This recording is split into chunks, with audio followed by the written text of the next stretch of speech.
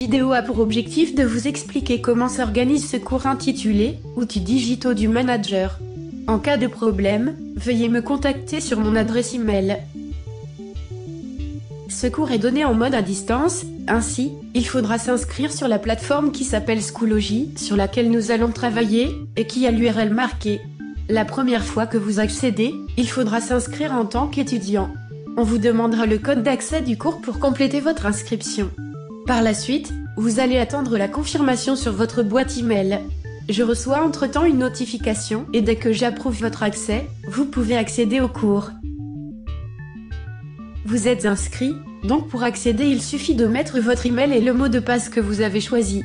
Quand vous avez l'accès, vous pouvez changer la langue de la plateforme, qui est en anglais par défaut, en bas à gauche de l'écran. Dans le menu cours, vous pouvez trouver le cours en question. Vous devez éditer votre profil en haut à droite de l'écran, en mettant une photo d'identité, et en remplissant tous les champs.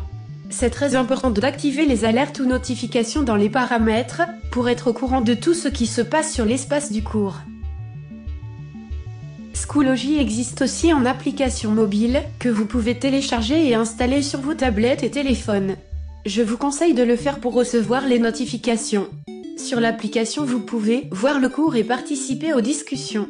Seuls les travaux, il n'est possible de les remettre que sur le site.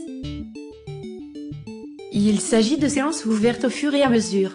Une séance correspond à un chapitre et elle dure une semaine voire deux.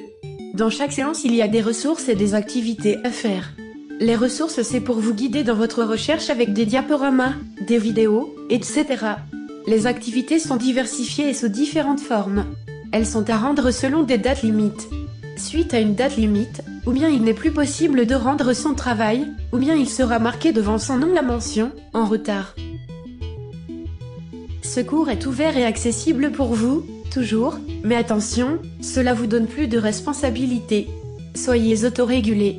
C'est-à-dire, Traitez les séances au fur et à mesure, en suivant le rythme du cours. Soyez à jour et rendez vos activités à temps.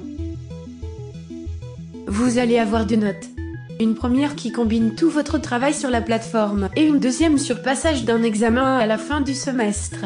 Une mention spéciale sera donnée à ceux qui font de la recherche à côté pour compléter le cours et à ceux qui partagent des informations concernant le cours avec leurs camarades. Des badges digitaux peuvent être attribués aux étudiants qui se distinguent dans certains travaux. Je vous souhaite une bonne transformation digitale.